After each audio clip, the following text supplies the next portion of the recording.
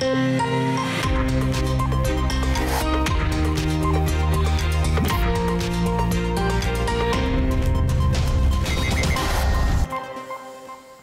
эфире новости в студии Игорь Липский. Здравствуйте. Говорим о главных событиях к этому часу. Подробности расскажем прямо сейчас. Подшефный города Кучаевск Донецкой Народной Республики доставили очередной гуманитарный груз из Владимирской области. Он был сформирован по заявкам педагогов, работников культуры и медиков. В составе груза комплект звукоусиливающей аппаратуры для Центра культуры и досуга имени Пушкина. Работники учреждения говорят, аппаратуру не обновляли почти 20 лет. Теперь у них есть все, чтобы проводить концерты на высоком профессиональном уровне. Артисты уже готовы приступать к репетициям. Огромная благодарность Владимирской области. Пришла аппаратура, полный комплект. Можно хоть сейчас ставить, пробовать и давать концерты на высоком профессиональном уровне. Колонки портальные, мониторы, э, четыре микрофонных базы по два микрофона. То есть у нас теперь... Это полный комплект. Коллектив может спокойно петь, а и не делиться микрофонами. Теперь хватит на всех.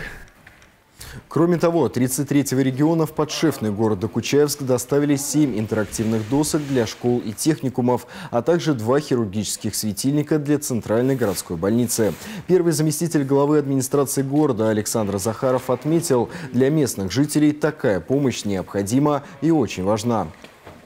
Огромное спасибо хочется выразить всем службам э, администрации Владимирской области, которые очень быстро все это отработали, эти заявки. Безусловно, все это пригодится, поскольку ну, наблюдаем, да, в каком режиме живет девятый год э, сама Донецкая Народная Республика. Очень много оборудования устарело, много чего не хватает. Поэтому, конечно, это огромная помощь нашему подшефному городу. Сегодня памятная дата в истории нашей страны. 80 лет назад советские войска разгромили немецко-фашистских захватчиков в Сталинградской битве. В Доме культуры и искусства на Соборной во Владимире прошла военно-научная конференция, посвященная знаковому сражению и юбилею прорыва блокады Ленинграда. Подробности далее.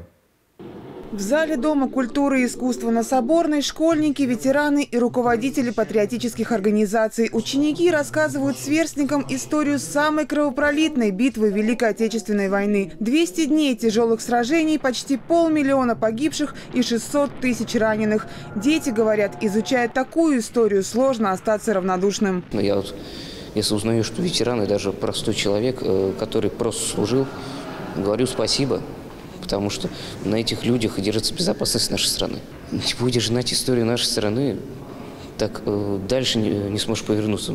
Э, допустишь какие-то ошибки, которые были уже э, в истории. Еще одна памятная дата – 80-летие прорыва блокады Ленинграда. Среди почетных гостей конференции – ветераны и блокадники. Антонина Молотникова родилась в 43-м. О том, как семья выживала в осажденном городе, много рассказывала ее мама. Сейчас эту историю хранит вся семья. Мама, когда нам рассказывала, мы с сестрой плакали. Питались вообще.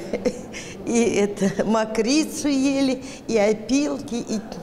Ну, в общем, что можно было все, э, любую траву. Забывать нельзя. И детям обязательно рассказывать. Я сейчас своим внукам рассказываю. Песни о Сталинграде и примеры подвигов советских солдат. Обращаясь к участникам конференции, глава города Дмитрий Наумов отметил, сейчас особенно важно помнить историю Великой Отечественной войны. Именно дети, молодое подрастающее поколение смогут пообщаться с людьми, которые пережили это воочию, почувствовав все эти тягости, лишений и ту жестокость, которая была со стороны фашистов. Чтобы историю, которая была написана практически кровью всем тех людей, наших людей, наших соотечественных, наших отцов, дедов и прадедов, была ни в коем случае не, не искажалась и донесена до молодого поколения в том виде, в котором она есть. В планах дополнить музей воинской славы новыми интерактивными экспозициями. Во время экскурсии председатель горсовета Николай Толбухин рассказал, для него Сталинград – это личная история. Маршал Федор Толбухин командовал 57-й армией, а бабушка все 900 дней блокады жила в осажденном Ленинграде. Такой осадок до сих пор остается очень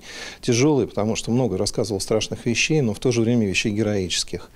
Но вот что помню, на каждый свой рассказ заканчивал, знаете как, не на тех напали. Дорогие уроки такие истории, к сожалению, вот наши западные соседи, они как-то об этом 80 лет прошло, они уже об этом начали забывать. Главное, чтобы мы помнили. И вот как раз, э, наверное, эстафету этой памяти нести нашей молодежи. В конференции приняли участие команды юноармейцев из 18 школ города. Всего в штабе молодежного движения больше четырех сотен учеников. Дети всегда лучше, чем мы. Поэтому они не просто заинтересованы, они знающие, думающие, грамотные. Это будущее России – на их плечах, и они эту ответственность уже сегодня чувствуют. Мы только им в этом помогаем. Конференции приурочили и посвящение в юноармейцы. Ряды городского движения пополнили еще 30 владимирских школьников. Оксана Любимова и Андрей Беляков. Во Владимире кроссовер протаранил отбойник. ДТП произошло на Пекинке в районе Судушки. Как сообщают в ГИБДД, авария произошла около дома номер 133 по улице Горького. Водитель «Шевроле» не справился с управлением и наехал на препятствие. В результате ДТП никто не пострадал. Машина получила механические повреждения. Сегодня до 8 вечера в 30 многоквартирных домах Владимира будет ограничена подача тепла. Это связано с ремонтными работами на сетях, которые в 9 утра начали проводить бригады компании «Т+».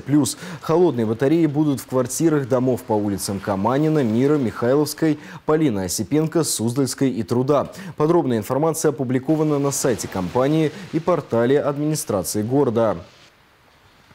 Продолжаем выпуск. После выхода в эфир нашего репортажа в Визняковском районе удалось решить многолетнюю коммунальную проблему. В поселке Степанцево заменили водопроводные трубы. Прежние коммуникации проходили вдоль реки. Трубы постоянно замерзали. В результате жители 14 домов регулярно оставались без воды. Проблема решена. Коммунальщики заменили сети. Теперь они проходят, как и положено, под землей. Дальше. Вот здесь видно, как прокопали реку Важель. Вот здесь вот трасса прошла. Далее вот она так вот идет. И дальше идет туда, к нашим сараям.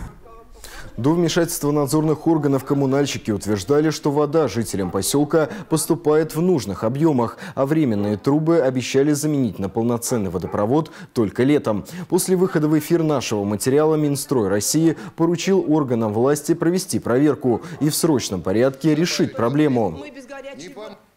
Жители поселка Степанцево Визняковского района Владимирской области от всей души благодарят Комитету общественного надзора, прокуратуру, Следственный комитет Российской Федерации, телевидение губернии 33 за и также лично Сагадеева Руслана Владимировича за оказанную нам помощь в водоснабжении. Мы оказались с водой теперь. Мы очень благодарны и желаем всем, кто нам помогал, здоровья, успехов и всего самого доброго. И очень сердечно всех благодарим. В Юрьев-Польском открылся новый корпус детской поликлиники. Этого события жители ждали много лет. В здании светлые просторные помещения, созданы игровые зоны для детей. Довольны не только пациенты, но и сами врачи. У каждого теперь есть свой личный кабинет. Подробности в материале Татьяны Гордеевой. А сделай вдох глубокий, а? Ой, молодец, не подыши чуть-чуть. Игорь Исаев – врач с 25-летним стажем. Он занимается ультразвуковой и лучевой диагностикой. Специалист говорит, в новом здании детской поликлиники созданы все условия для комфортной работы аппарат высокого качества с набором всех датчиков, с набором уже всех измерений заложенных. Он многофункциональный, может, могут обследоваться и взрослые также, и дети в первую очередь, особенно грудные, когда идет выявление. Да, это такого у нас не было. Новый корпус строили с 2020 года с большим трудом. Под зданием обнаружили насыщенный водой грунт, плывун. Пришлось укреплять фундамент. Предыдущее здание, старое здание поликлиники у нас просело настолько, что эксплуатировать его было запрещено. И вот в этот период вот мы э, старались как-то, чтобы все это дело закончить. И, наконец, достроили этот многострадальный проект. Здание получилось великолепное. То есть вот я прихожу сюда, и мне просто радостно вот для того, чтобы вот дети, которые бегают по светлым большим коридорам, кабинеты персонала совершенно замечательные. Здесь работают педиатры и узкие специалисты – хирург, офтальмолог и лор. У каждого врача свой кабинет. Раньше о таких условиях медики только мечтали. комфортно и пациентам. Для малышей предусмотрели игровые зоны. Есть и пеленальная комната. Все уютно, красиво, чистенько, без очередей. Это самое главное, то, что каждый в свой кабинет. Есть еще детская комната внизу, мы уже там были, все понравилось, красиво. Много игрушек. В ЦРБ работают и опытные, и молодые специалисты. Руководство медучреждения отмечает, проблема с кадрами есть, но ее стараются решать. Есть дефицит узких специалистов, у нас нет детского невролога, нам приходится, как бы вот с этим у нас нет травматолога, заключаем договора для осмотра детей, но радует то, что у нас много других, то есть у нас есть и окулисты, и гинекологи, и офтальмологи, и ведь функциональная диагностика, стоматология прекрасная, поэтому у нас учреждение ну, достаточно хорошо укомплектовано специалистами.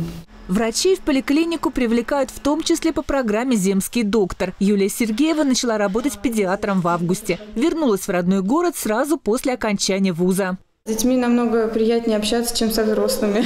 Трудности вот в диагностике, наверное, больше, потому что ребенок же, это взрослый ребенок расскажет, что у него там что-то болит, а маленький он просто плачет. И вот в этом только трудности, наверное. Но мы справляемся поликлинике есть современное оборудование, но для полноценной работы узких специалистов требуется рентген-аппарат. Рентген-аппарат не хватает, конечно. Было бы очень здорово, потому что все плоскостопия, искривления, ортопедии, острые переломы, ведь дети же они постоянно травмируются. В настоящее время дети вынуждены ходить в другое здание, поэтому мама с маленькими детьми остается в другом месте. А хотелось бы, чтобы было вообще все в одном месте. Всего в детской поликлинике Юрьев-Польской ЦРБ наблюдается более пяти с половиной тысяч детей. Это жители города, а также свыше ста сел и деревень района. Татьяна Гордеева и Сергей Власов.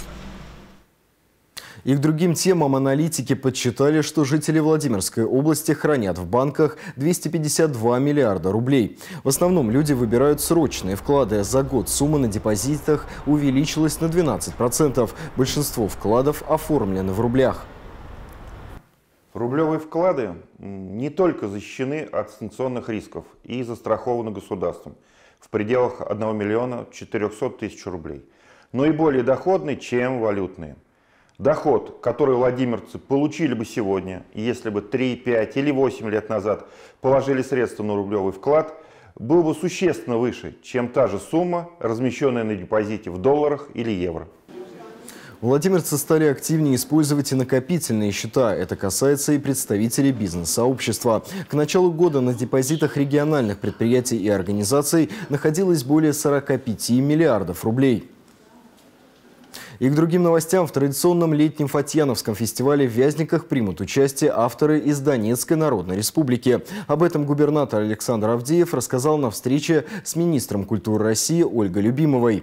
Наш регион готовится к проведению юбилейного 50-го Всероссийского фестиваля. Он посвящен памяти выдающегося советского поэта-песенника Алексея Фатьянова. В этом году фестиваль пройдет в Вязниках 22 июля. За полвека культурное событие полюбилось многим поклонникам поэзии, авторской песни из самых разных регионов страны. На фестиваль приезжают знаменитые исполнители и музыканты. В этом году к ним присоединятся и авторы из ДНР.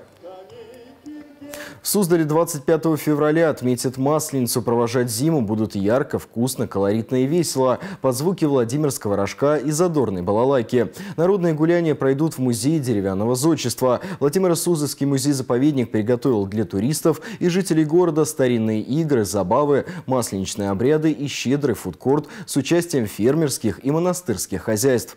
В Суздале на Масленицу можно будет попробовать блины с самой разной начинкой. Для гостей подготовили и развлекательные развлекательную программу. Детей ждет театр кукол, хороводы и множество веселых и необычных потех. Рекордное количество игр предложат и для взрослых. Будет работать 12 анимационных площадок. На территории музея построят соломенный лабиринт, где можно будет посоревноваться в блинной стрельбе и принять участие в боях подушками и перетягивании каната. Не обойдется и без гусиных боев. Местные заводчики уже готовят к птиц к поединку.